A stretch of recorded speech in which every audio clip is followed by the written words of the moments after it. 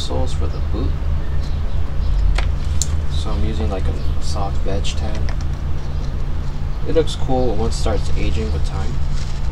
And the logo starts to appearing even more.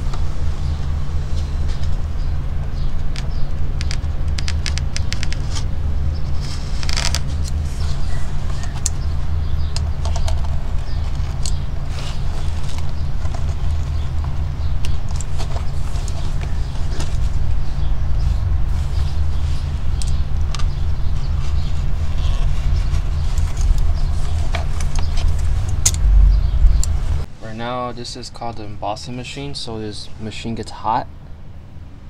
And I have a little die here that has my brand on it. It says Role Club. So this is what it looks like once it gets embossed.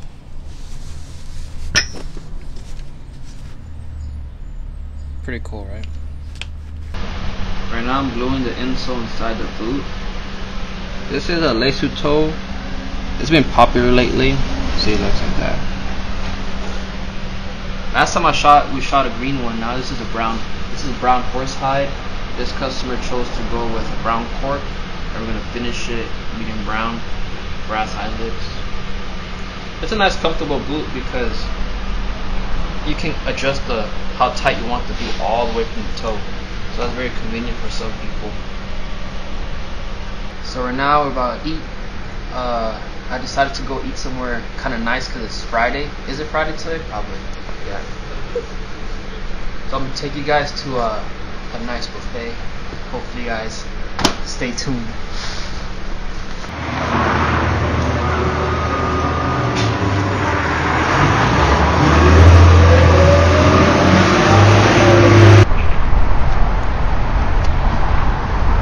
We're here in Glendale. About to eat some food, some good foods. Thank you all who don't skip the ads so your boy can eat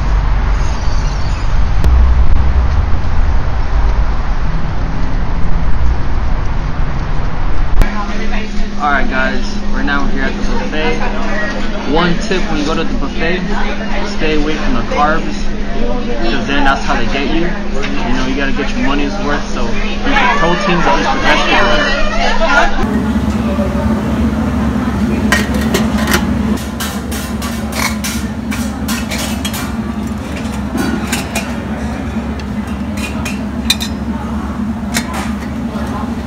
this is this is your boy's favorite right here.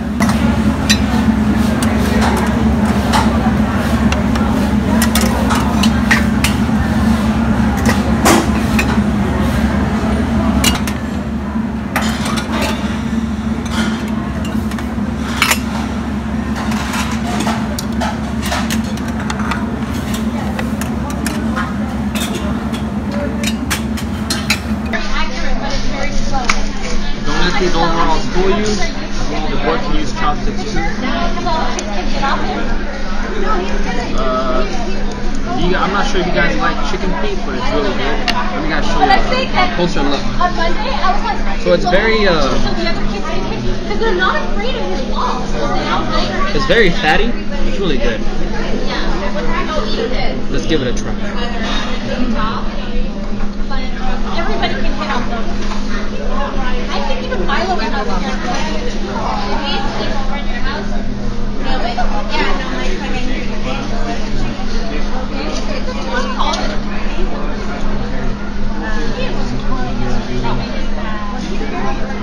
Everyone's upset. Everyone's upset. But I know that that's how I have to be number one.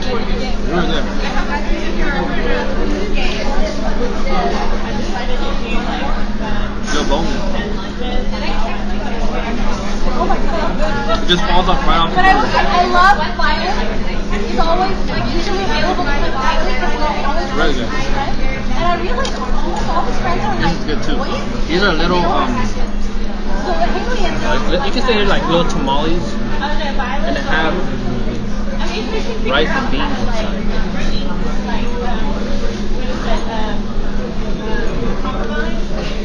Oh, and it's fresh.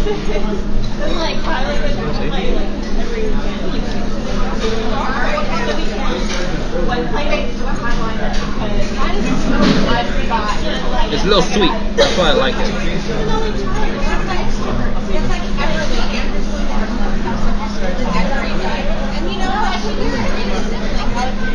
Alright, I'm gonna get to eating now. See you guys at the shop. Good to hear. You have anybody? Because when we Oh, it is good.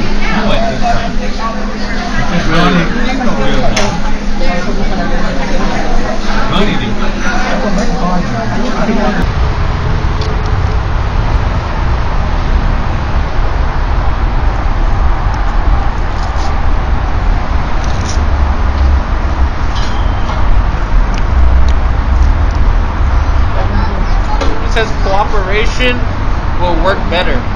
What, does that mean? So what's up guys? We just got done eating some some good food. You know. Now I'm about to go back to the shop and start working. Got a lot of things to get done. Alright guys, so now we're gonna do some unboxing. Let's see what we got what kind of work we got for the week.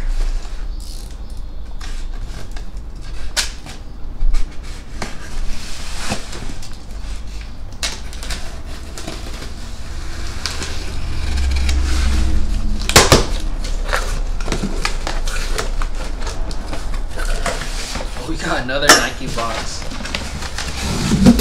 Let's see what it is.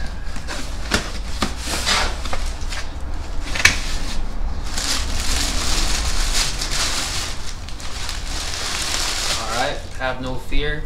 The Alden Indies are here. okay. Alright, we got some Alden Indies to resole. Let's see.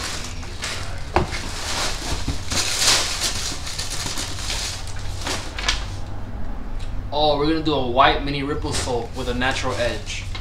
So stay tuned, guys. We're gonna do Alden Indie resole with uh, a ripple sole. So it's like the mini ripple soles. I made one before on a, on the other Alden. Many people got mad because they were like brand new, but I resole boots, but at the same time, it's also a customization. Some people just choose to have a different sole. You know?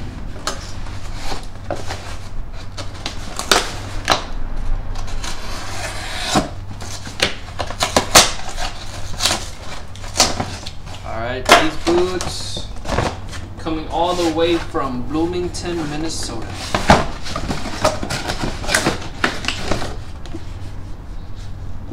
What are these? Oak Street Bootmaker boots. They look like shell. Interesting. Take a look, guys. Oh, the heels are pretty worn down.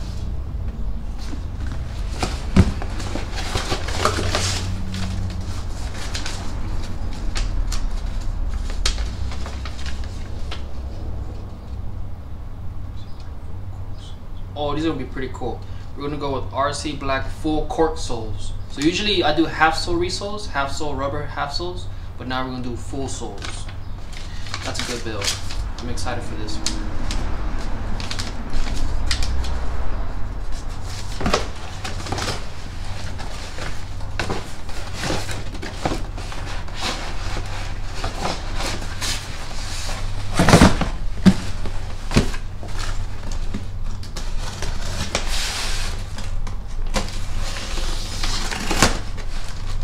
All the way from Milwaukee.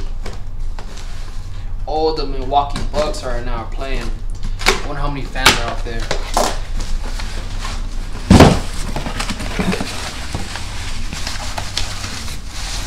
So we got some one of your favorites, the Iron Rangers.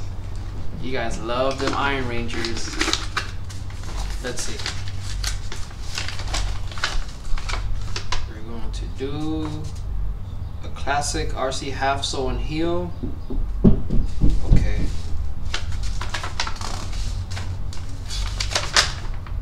Yeah, classic RC half sole and heel, dark brown edge. Same sole you did on a YouTube video. I'm glad the YouTube videos are helping because it helps you get a perspective of how you want things. Sometimes it's hard to just read, you know, and don't see the visual. So here we go, another Iron Ranger for you guys. Never know you want to see his Iron Ranger one more time. I'm glad to do it for you guys. As long as you guys are happy, I'm happy. Oh, this one's a heavy one.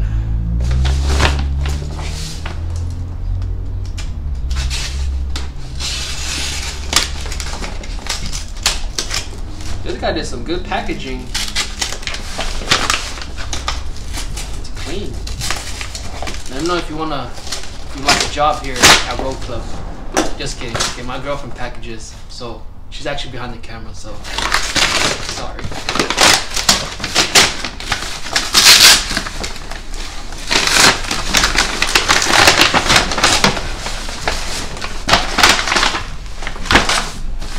Okay.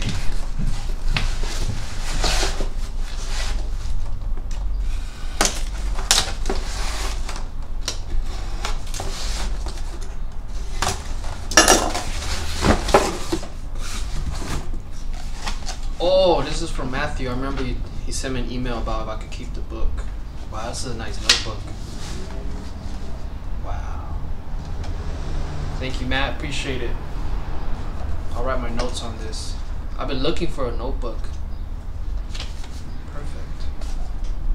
Oh, it's made in Japan. Nice.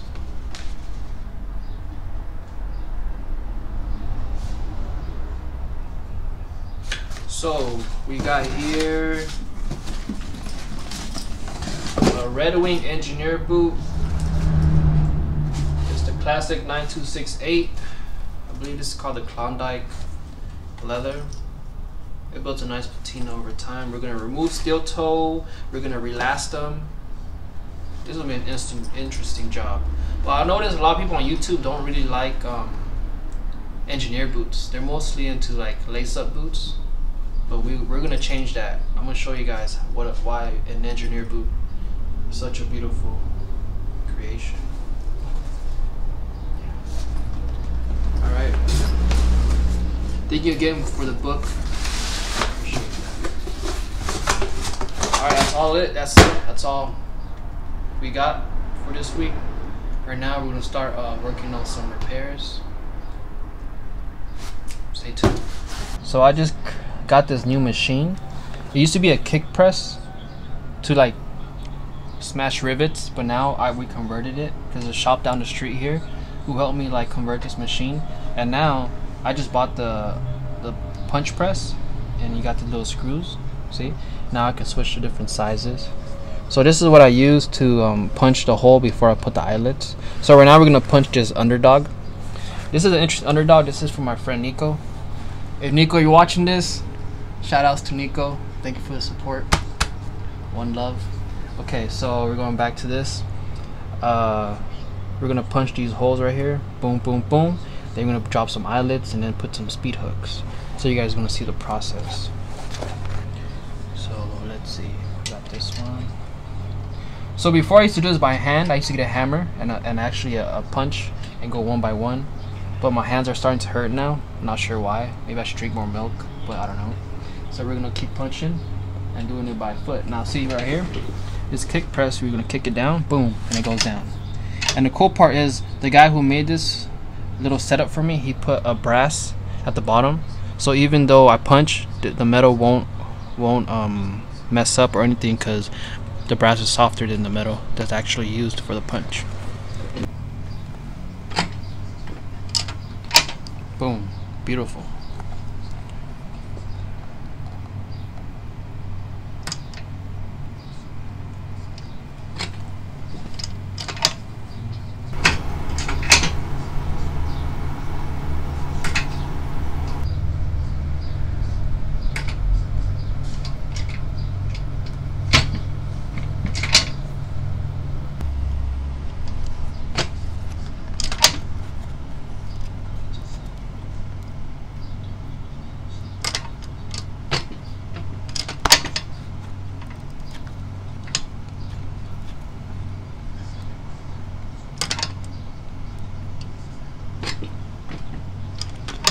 Yeah, is a beautiful leather because it literally just has its own character. So if one person wears a pair of boots in veg tan, and another person from another country wears another pair with the same leather, it'll develop differently. So that's the beauty, you know, and you can literally build your own character on your own boots. I know this is like a simple, not a simple process, but you guys probably want to see more crazy stuff, but it's very hard to keep you guys in the loop. But I'll try, you know, this is like one of the first baby steps, and then eventually you guys are gonna know a lot of things. So hopefully I can teach you guys and show you what I know, and then you guys can build from there. And we can have a little boot community. See, for those of you who ordered the underdogs, there's a lot of details I've put on this boot that resemble like a work boot. But this is my extra detail right here, this stitch right here. Most people wouldn't put this stitch here because it kind of looks like a defect. But once this boot ages, these stitches will pop out more and it'll create this character, you know. It's just an extra detail that is kind of flawless. At the same time, it was intentional, you know. And that's the stuff I always see on old boots. Something you'll appreciate in the future, but not at the moment, if that makes sense. Right now, I'm putting the dies on the kick press. This is a kick press. I used to put eyelets with a little arbor press. So this is how you put the eyelets. Oh shoot. So it's not reaching all the way to the top, so we gotta lift it up.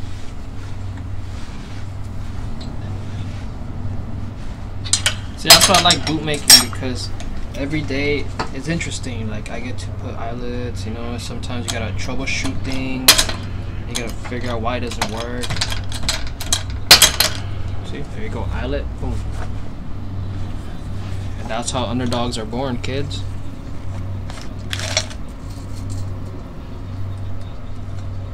That's how underdogs are born, kids. Just playing.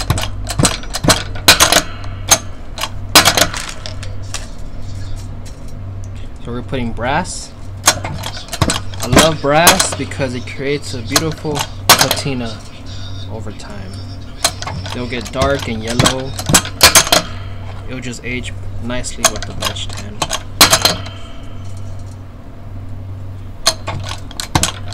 If you look closer at this boot, you see all these red lines.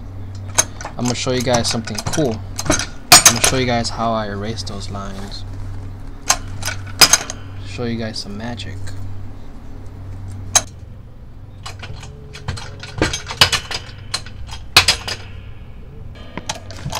See the guy who makes these dies for me, he's from Ukraine. And that guy is a genius when it comes to metalwork. He can CNC and create all these different dies for different machines and he went to school. He went to school for that. I respect his work. Nice guy. He's an own he's his own artist. He's he's a he's an artist, you know. He's just a metal artist.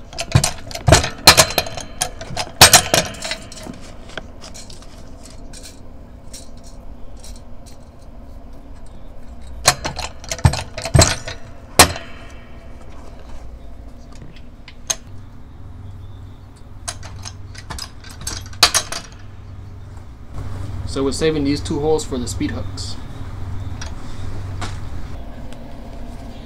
So this is a speed hook. I like to put it like this so I know exactly where it's gonna fall. It's gonna move.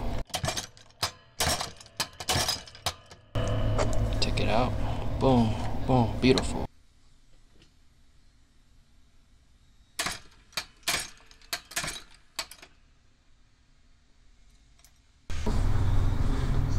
no speed hooks, no eyelets.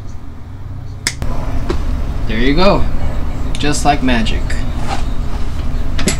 So it's almost like magic, guys. If you want to be a bootmaker, you gotta know, you gotta believe in magic. Alright, let's do it.